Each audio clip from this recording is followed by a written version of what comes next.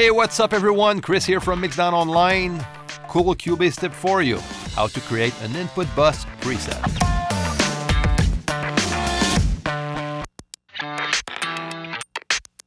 Alright, so before we jump in, again, like, share, and if you're new here on this channel, subscribe to the channel. And for all of you click that notification bell so you get notified every time I upload a new video. Alright, now how to create an input bus preset in Cubase. Now, what is an input bus? Now, you've heard of the term bus before. You know, you heard me talking about the mix bus, uh, the drum bus, and so on. So what is a bus exactly? It's an invisible pathway, okay, that will link uh, the audio from point A to point B, okay, basically. So in most DAWs, uh, you have aux tracks, okay, you create an aux track uh, where you insert a reverb or you can just group a bunch of tracks together, okay, and uh, you select buses, okay, that will be the link between the audio and this aux track. Now in Cubase, it works a bit differently.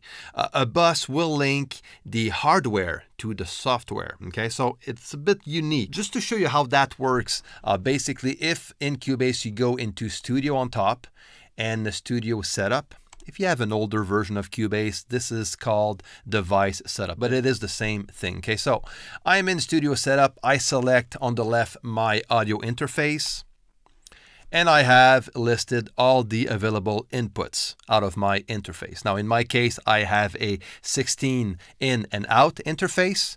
Some of you will have a two in and two out interface, some four, some eight inputs. It depends. Okay, so um, this is where it's going to be listed. All the inputs are going to be listed right here. Okay, uh, now some of those are active right now and some are inactive. So to check whatever is active or inactive, you click on F4, which will bring up the audio connections window. Now, if we focus on the input tab, uh, this is what I have. Like right now, I have my, uh, my preset set up to a drum recording session, which I've uh, done last weekend.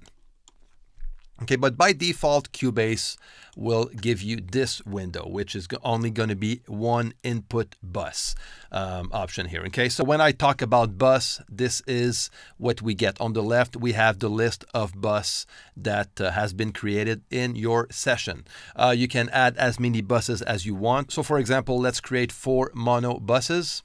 Click on Add Bus, and I have four of them. Now, on the right side, on the device port column, okay, we have the available inputs out of your interface. So in my case, I have 16 inputs. So if I click, let's say on Mono In 4, um, now right now it is uh, allocated to my input number six. I can just click and select my input four instead if I want, okay? So everything I record into my uh, input number four out of my interface will be um, allocated directly to my mono in four bus, which will be then available as an input routing for each audio tracks. Okay, so if I select one audio track and then click the input here, okay, uh, you're going to see all the buses that I have created, okay, listed right here. So if I want to record, um, for example, on this track, I want to record my input number four of my interface, I just select mono in four, which is the bus allocated to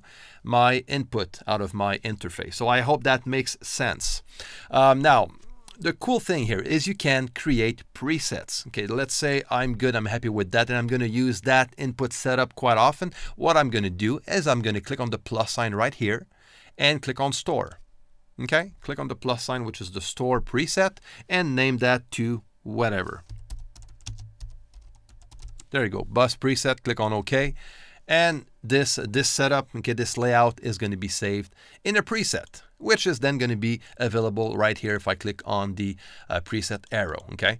Um, now, by default, Cubase has some presets already set up for me, okay, according to the uh, the amount of inputs available of the interface. Okay, so in your case, these presets will be different than what I have uh, for mine. You know, that goes according to your interface. Okay, uh, so now on top, I have my own presets. If I want to delete a preset, I just click on the minus sign right here. It's going to delete the selected preset. Uh, so getting back to my drum session, I already had a preset set up for it. But just before, yeah, just a quick thing here. You can also rename all the buses, okay, which can be very helpful, okay. So you can rename that to whatever name you want and uh, let's say input one for example or you know whatever uh, name you want to name the bus you can just do it right here okay uh, in my case if I load my preset my drum preset all of my buses has the same name as my uh, audio tracks okay so my kick in is uh, on my first input out of my interface my second bass drum microphone is plugged into my second preamp okay which is uh, going into my second input of my interface. Okay, um, so and so on. So in my case, I am using uh, channel one through 11 and then 13 okay so probably 12 is my talkback microphone so that's why I don't use it here.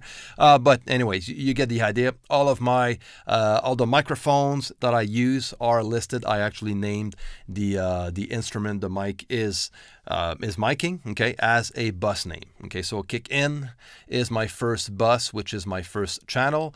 Kick out is my second bus which is my input number two out of my interface and so on this way it is very very simple every time I load a drum session to just load that preset um, create my tracks and allocate the input to the correct bus, okay, the correct uh, input out of the interface. So kick in, I'm gonna choose kick in, okay, same name, very simple.